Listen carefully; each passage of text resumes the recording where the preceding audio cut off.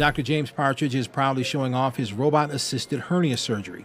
Surgery he performs from the other side of the room, working the robotics with the help of a monitor that provides high definition 3D images from inside the patient's body.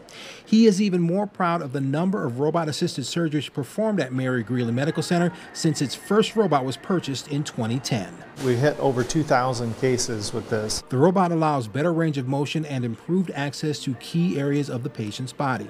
The surgery is minimally invasive.